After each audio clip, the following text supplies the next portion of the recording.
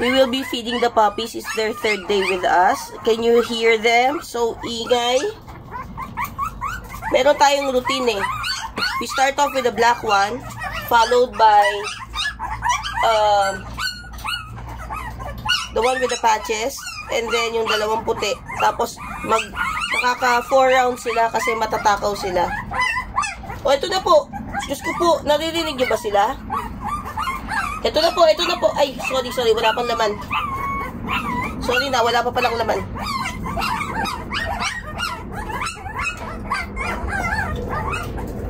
Sorry na. Sorry na. Here we go! First one. Nasasanay na silang kumain eh, gamit ang syringe. So, ang trick ay ipasok ang bibi, ay, ipa, ipasok ang daliri para they will stimulate yung pag ano. Tapos yan. Yung pagsak sa mami. Oh, wait, wait, wait. Oh. Dahil papi pa siya, hindi pa siya masyadong marunong. Wait lang. Oh, ayan na. Ayan na, ayan na, ayan na.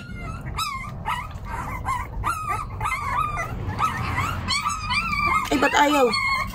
Wait lang, baby. Ayan na, ayan na, ayan na. No, no, no, no, no, no, no, no. Up. Mm. There you go.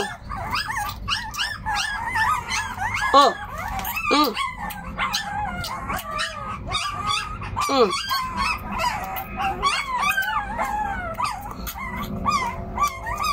Hindi ko po sinasakal ah. Kaya lang, I have to hold the head up. Ayan. Pagkatapos ng isang ganito, oh, aray, oh, timo, timo, timo, timo. Let go, let go, let go. Mm. So, yung isa naman.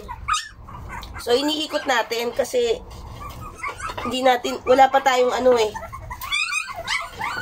Yan, yan, yan, yan, yan, yan, yan, yan, yan. Oh, wait lang, wait lang, wait lang. Sorry na, sorry na.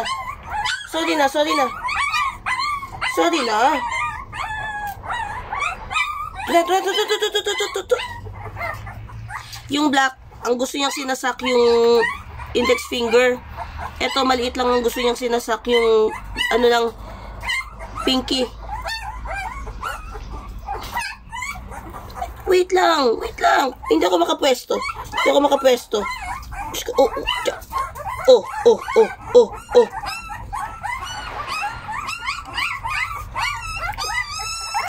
Oo. Actually, oh. Okay. Okay? Eh, paano ka kakain ang kulit mo? Mm, mm, mm, mm.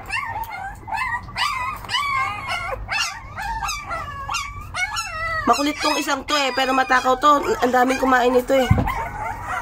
Wait lang. Wait. Oh. Paano ka kakain ang kulit mo? Huwag ka malikot. Huwag ka malikot. Huwag ka malikot.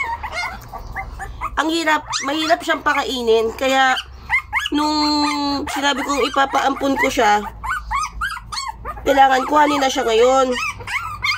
Unfortunately, yung mga nagsabi na aampon, parang gusto mag-back out nung nalaman nila na alagain na ganito. Ang gusto yata, ako pa ang yung ibigay ko sila kapag kayong marunong na kumain. Eh, ang point ko nga na pagpapaampon, hindi ko kaya na i-maintain yung ganito karaming puppies. Wait lang, you're not done yet. Oh, ay ayaw mo na. Yun. Pero okay lang naman, kahit medyo nag, me, medyo mukhang magbaback out yung mga nagsabi mag-aampon kasi may mga nakapila naman. Actually, kinausap ko na yung nakapila. Ang sabi ko, it is possible that she can get the puppies dahil parang ayaw na makipag-usap nung isa. Nung, yung isa na nagpa-reserve, ayaw nang makipag-usap. Yan. See? So sabi ko, bibigay ko na lang sa kanya. I'm giving yung nag-ampon, binibigyan ko lang ng hanggang today para mag-confirm kasi piniem ko na eh. Ilang beses ko na pinipm, sinisin lang ako. Nakikita ko nakakapag-post siya. Pero hindi niya, sin, parang sinisin niya lang ako. O. Kaya tingin ko, ayaw niya na. So, ang gagawin ko,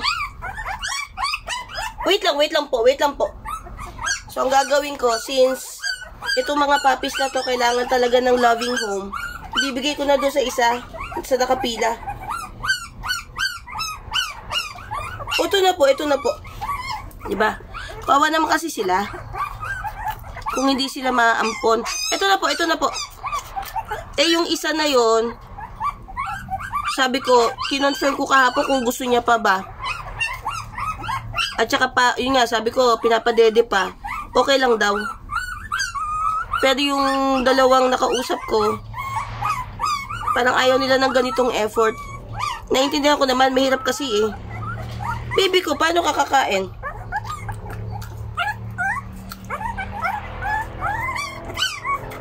Okay.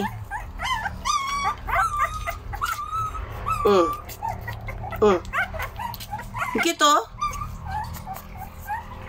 Cute, di ba? Tsaka ang bango-bango, syempre, ito si Papi. Oh, wait lang. Yan. Round two. So, yun nga. Parang ayaw nang kuhanin yung dalawa na nagsabi. Tatlo kasi sila. Tigi-tigi sa sila dapat. Yung isa, nagsabi agad siya na ayaw niya na kasi malayo siya, hindi niya makukuha. Mas gusto ko yung ganon. At least malinaw. Pero yung dalawa kasi, yung isa, sabi niya, meron siyang emergency, hindi niya makukuha. Dapat kahapon nila kukunin eh. Second day ng mga puppies. Eh, meron siyang nangyari sa kanya, hindi niya raw makukuha. Ang pinaka na-disappoint ako doon sa isa. Kasi talagang sinisinya lang ako. Tingnan niyo kung gaano kahigpit ang kapit niya na. Hmm? Hmm. Mag-round trip ako. Oh, wait lang. Diyos ko po. Pero pag nabusog naman tong mga to, okay na. Meron din silang ano, style. Ito, oh. Nasa, hindi kita eh, no? Pero nasa gilid ng ano, ito na. Ito na, ito na, ito na, ito. Mm. Hindi niya makuha ngayon. Dati nakukuha niya eh. Kahapon nakuha niya, ilang beses siya pinakain. Dito lang sa gilid. Ito na po. Ito na po. You know, taking care of puppies this small, it's really difficult. takes time. It takes passion. It takes patience. Kasi tinan nyo, oh, ang hirap oh. Ito na. Tapos syempre, these are puppies. Hindi pa sila trained. So, the best thing you can do for them is to feed them like this kasi wala silang mommy. Pero, sometimes, siguro, oh, siguro they also don't know kung paano mag-survive. Aba, nakalabas yung isa.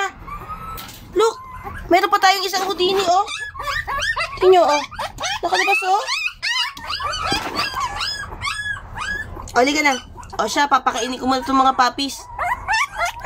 Houdini number 2. Bye, guys.